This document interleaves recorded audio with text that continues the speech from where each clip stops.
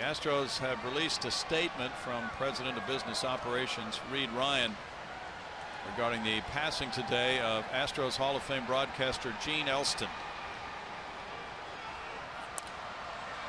Foul back, one ball, one strike. We are deeply saddened by the passing of Gene Elston. Gene helped introduce baseball to Houston as a part of the original broadcast team of the Colt 45s when the franchise was born in 1962. For 25 seasons, he served as the lead voice of the Colt 45s and Astros and called many of the great moments in franchise history. The memories he helped create are cherished fondly by the generations of Astros fans that he touched.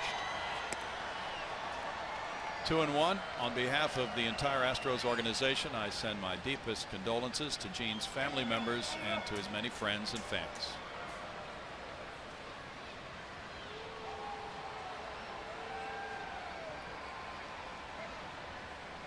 Gene was 93. Ground ball third and foul. Two balls, two strikes. I know you spent a lot of time around Gene, and I was privileged to know him. He was inducted uh, into the National Baseball Hall of Fame, the Ford Frick Award winner. That was in 2006. Primarily a radio broadcaster for close to 47 years. Great career, Gene Elston.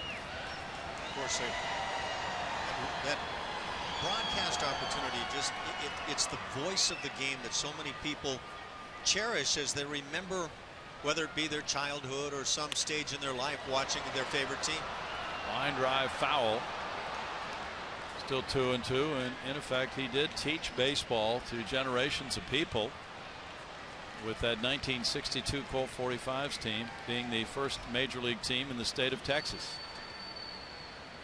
Of course there had been many years of minor league baseball here but nonetheless so many fans were attracted to the sport and Gene Elston was right there at the forefront on the air every day.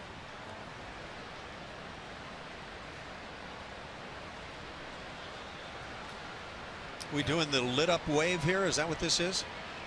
I think uh, this is an acknowledgement of Gene Elston, if the word has traveled.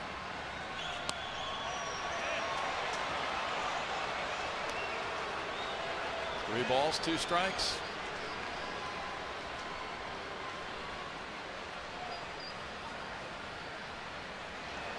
Very nice gesture.